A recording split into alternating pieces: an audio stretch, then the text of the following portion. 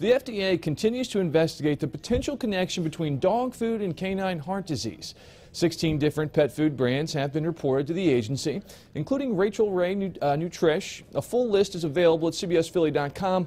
The breeds most frequently reported are Golden Retrievers, mixed breeds, Labrador Retrievers, and Great Danes. Smaller dogs can be affected, though, as well. The FDA will provide updates to the public as information becomes available. There's nothing specific to report at this time. Matt Yurus, CBS Philly.